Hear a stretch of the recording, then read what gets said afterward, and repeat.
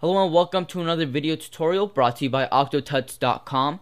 Today we're going to be taking a look at making a simple logo design into a more complex side design that could be used for something like a banner, an advertisement, or maybe even a business card. So this is what our final effect looks like. I took the Nike logo and I made it into this.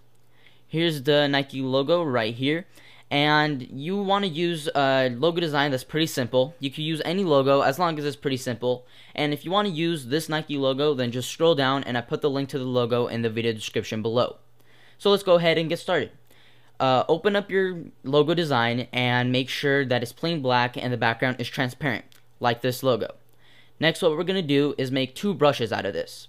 So to do that, click on Edit, Define Brush Preset, and let's name it something like Nike or whatever brand your logo represents underscore auto and press OK.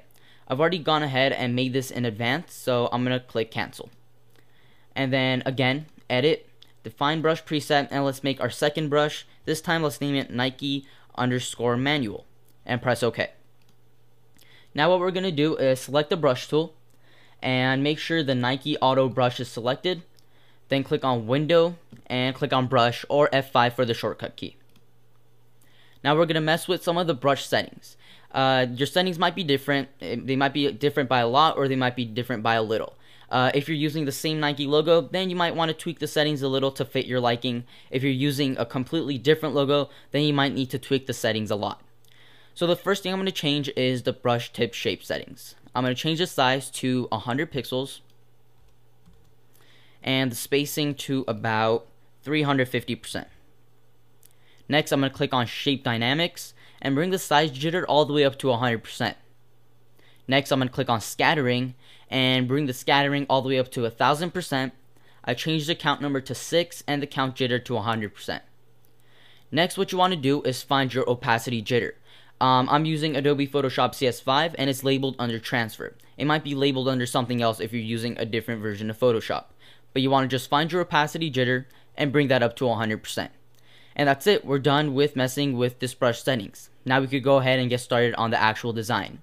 So I'm going to hide this and click on File, New, and let's name this something like Nike Logo Ad. I made the width 500 pixels and the height 400 pixels, and press OK. I'm going to drag this out, and the first thing I want to do is make the background black because I want my Nike logos to be white. So I'm going to change the color to black, select the paint bucket tool, and paint it black. Then change the color back to white, select the brush tool, and I'm going to make a new, a new layer, Command Shift N if you're on a Mac, or Control Shift N if you're on Windows. I'm going to name this layer Nike Logos 1 and press OK. Now, this is where you watch the magic happen. It's very, very simple to do. Just click and drag from the top right hand corner to the bottom left hand corner. And just like that, you see Nike logos appearing. Now do this as much as you want, but don't add too many Nike logos. You want to add about half of what you want there. And once you have that added, make another layer, Command Shift N or Control Shift N, and I'm going to name this Nike Logos 2 and press OK.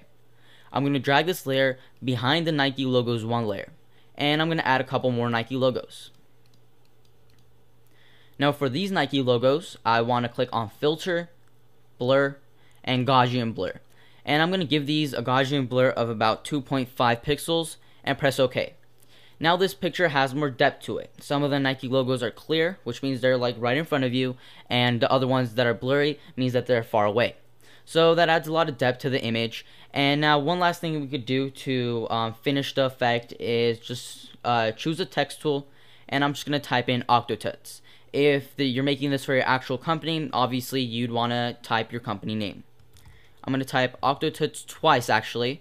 Once in a size 36 font, so it's a little bigger. And then I'm going to type it once more in a smaller font. Let's do size 30. Type in Octotuts. And I'm going to bring the smaller font text in front of the bigger fonted one. And then I'm going to select the bigger fonted text layer uh, make the opacity 50%. Go to Filter, Blur, Gaussian Blur. Press OK and give it a blur of about 1.5 pixels and press OK. now it says Octotuts um, in front with a smaller text, and then it has another um, one behind it with the bigger text, and that one's blurred out with opacity of 50%. So it just adds to the effect, and it matches with the Nike logos. And then one last thing you could do is if you if you want more Nike logos, then just choose a brush tool and choose the Nike manual brush. And then this way you could just add Nike logos manually wherever you want them to go. So let's say there's an empty spot where there isn't a Nike logo, you could go ahead and add one right there. And that's pretty much it for this tutorial. That's it for turning this simple logo design into something more complicated that could be used for banners, advertisements, business cards, and more. That's it for this tutorial. Hope you guys learned something today. Hope you could take this and apply it to your own image and make something cool like that. Don't be afraid to mess with the colors and settings and everything to make something a little different and see what you could come up with. And again, this is Octotuts.com, and until next time, I will see you guys later.